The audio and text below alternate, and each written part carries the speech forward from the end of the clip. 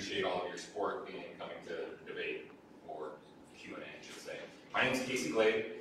I'm a candidate for Lehi City Council. I've been a resident for seventeen years, and the reason why I'm running for city council is because I think we deserve better. Four out of the five of our city council members now have been in city council for more than a decade. Our mayor's been in city in city council or a mayor for over twenty-six years. That means for the past ten years, we've had a super majority of people that have been with us in the city government. And we deserve better. I started my becoming interested in this because I started to see some loopholes that the city started using to get through some of the projects and plans that they wanted to get through. And it started concerning me. I'll give you just one quick example. Across the street from me, there's some property that's zoned for half acre lots. The city didn't like that. They wanted high density uh, on that property, and that causes a problem for us. And the city needed to have a loophole in order to do that. And so through the general plan update and change, they slipped in there a village overlay. It sounds nice, it sounds cute. Village overlay sounds nice, right? But it allows the city government to come in and change the density to whatever they like, including commercial. So high density with commercial, and that's what they did. And we've been fighting that, and fortunately last week, we did have a little victory, but we know that the city will come back again with another plan in the future, and we need to protect that. I want to protect my property just like I want to protect your property. And there are other loopholes that have happened on my same street, and I want to protect them.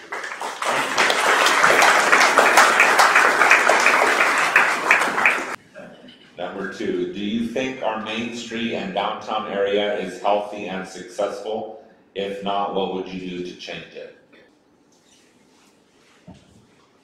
Yeah, everybody drives up and down Main Street. We all have challenges getting up and down the street, and if you want to stop at a retail store there, it's pretty challenging. And so finding the parking and finding that uh, accessibility is, is going to be a challenge for a long time. I don't think there's an easy fix, adding more cars and more traffic and more housing right on top of it. You know, it may help a couple retail outlets here or there, but we're gonna have to have the right kind of retail outlets and attract the right kind of people to stay there.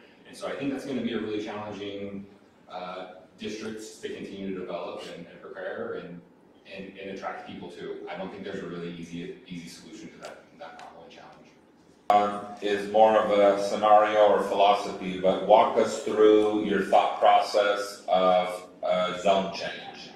So a general, a general plan zone change, how do you look at that and what is your walkthrough? Yeah, zoning and land use is one of the biggest uh, responsibilities of the city council, and we can see how they can change and dramatically alter the neighborhood with a blink of an eye. And we've seen that in my neighborhood, and we shouldn't have to rally one hundred residents to a city council meeting to defeat a measure that uh, the city created overnight, like I discussed earlier, that city, that village overlay that they created. We need to have responsible zoning, and we have a general plan to guide that. And when we go away from the general plan, you, you as a resident and I as a resident have general expectations. We have expectations of what's going to happen around us. We purchase our property, we make investments in the community, we move our families, we establish our lives, and we should have, be respected by the city enough to take our take us into consideration. And too, far too often, we go to city council meetings, we hear the city council members just, eh, you're irrelevant. We heard that in our meeting from the developers, it's irrelevant what we do here. Well, it's not irrelevant to me. My neighborhood matters to me. My neighbors matter to me. My family matters to me, and it should matter to you too. Similar to zoning, but do you have any creative ideas or thoughts to help with affordable housing?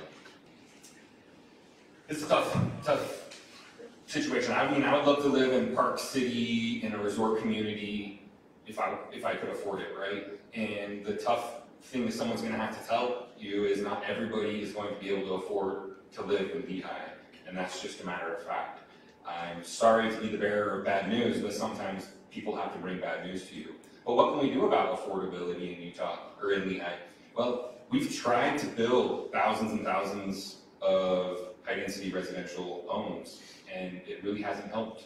I have, within three miles of my home, ten thousand units within three miles of my home, and it hasn't helped. So let's just add ten or twenty or forty thousand more units, maybe that'll help. Well, we, I can't even get out of my neighborhood right now because of the way this planning and zoning has gone in the city. So it's not gonna help us to just continue to build our way and find more housing and more housing. We have to be a little bit smarter about this, and we may not be able to house everybody that wants to have a house in Lehi, and that's, I'm sorry. So as part of your sixty second, now ninety second closing statement, start with letting us know what you admire, appreciate, or like about the candidate to your left, or to your next candidate. So Jason, Tyler, Tyler, Michelle, so forth. Thank you, Heather. Appreciate your words, and, and I also think you very kind. The first time I met you, I felt that. But Charlie, I met, met you for the very first time tonight. I really appreciate your service in the military. Uh, I understand you just exited the mi- military just a year ago or so, so appreciate your service. Um, I did notice, uh, last night you posted online and somebody came at you very heavy-handed. And, uh, I, I really appreciated your calm and level-headed response to that, and that individual ended up deleting his comments and apologizing, and, and, and that's what a, a leader can do and should do in that situation, so I, I applaud that. Well, I'm not a politician, if you haven't figured that out yet, uh, and I don't think we need a politician in city council. We need common sense in twenty twenty-three. We've had a lot of nonsense in the past few years, and, and I'm a candidate that's gonna bring common sense your values, my values are, are matched. You know, I want a safe place for my kids, I want my land protected, my home protected, I want my neighborhood protected, and so do you. I want fiscal responsibility in the city, we can't be building twenty-two million dollars city halls to our project, our descendants, I our descendants. And, and, you know, we need to be careful about how we spend things, and that's what a Lehi City Council member should be doing and watching out for. Over the last year, we bonded for over uh, over ninety million dollars or thousand dollars per person in the city just for two projects. And it's gonna get more and more and more, and we have to be careful about that, and I'm concerned about that type of spending.